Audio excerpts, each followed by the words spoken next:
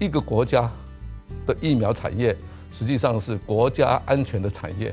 如果自己有自制的能力，还有自己有研发的能力，那是最棒的。这件事情，我们相信啊，在未来呢，一定会能够真相大白啊，还给这一个啊，我们的这一个这件市长呢啊，一个啊很好的啊来论证哈，说。呃，还给他清白。台大论文是抄袭来的，已经惊呆全台。如今民进党全党蒙着眼睛狂挺抄袭，更让全民傻眼。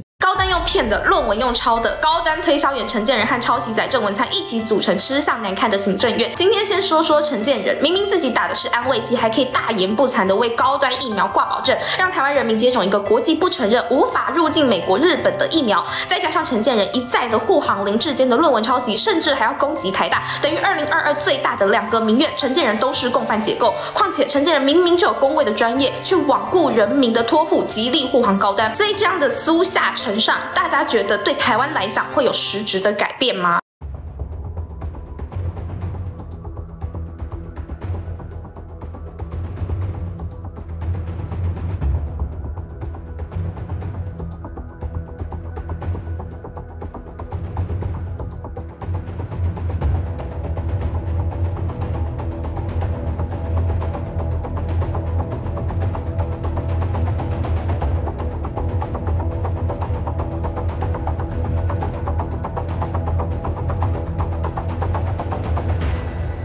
民进党这次这个换阁哈，就是说院长、副院长换掉，但是阁员基本上不动了，就有点像换汤不换药哈，换瓶不换酒了，哦，新瓶装旧酒。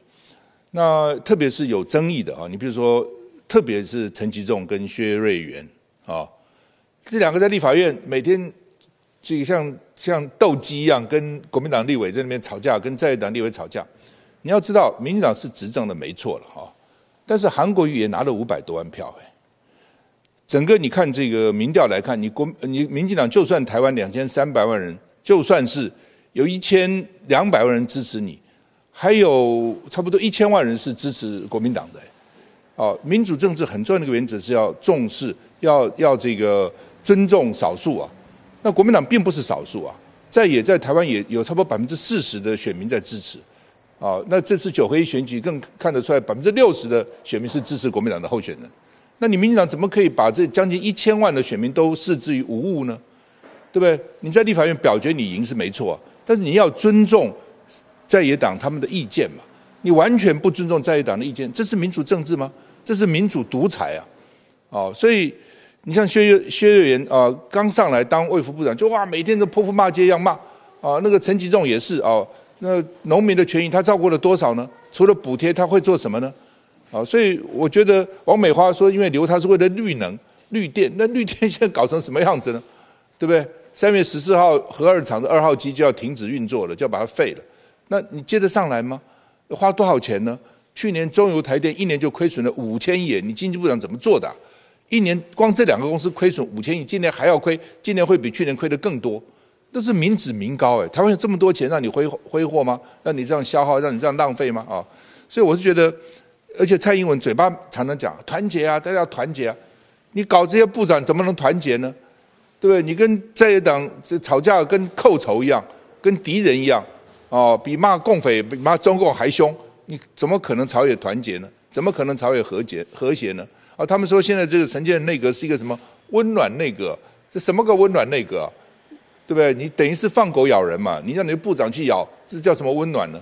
啊，所以我觉得这完全是是不可思议了。民进党这个把民主哦视为无物哦，那好好不容就是说台湾好不容易走到今天这个地步哦，民进党在倒退了，完全走回头路。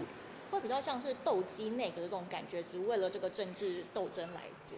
对，为了他们的派系的利益啊，为了民进党利益啊，哦，他就是一个斗鸡内阁哦。它还不算一个战斗内阁，它就是个斗鸡内阁。好，有一些睡眠问题的话，可以来试试看我们旺旺推出的这个梦梦水，睡前三十分钟喝上一包，就可以让大家清爽无负担。告诉大家在哪里购买，这个地方有我们 QR code，扫描一下就可以到快点购网站上头来购买。这里呢有我的推荐代码 CTI 三二一，邀请大家多多支持。